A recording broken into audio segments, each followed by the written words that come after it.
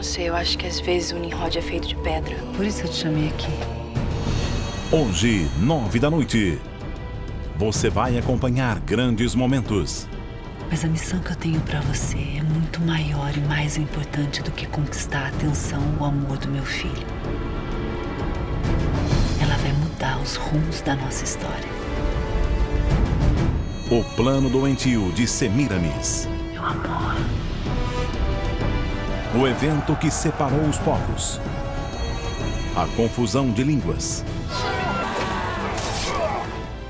E o início de uma nova fase.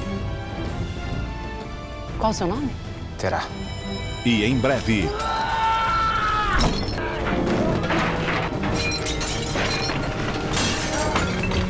A história de Abraão. Deus falou comigo, Sarai. Gênesis.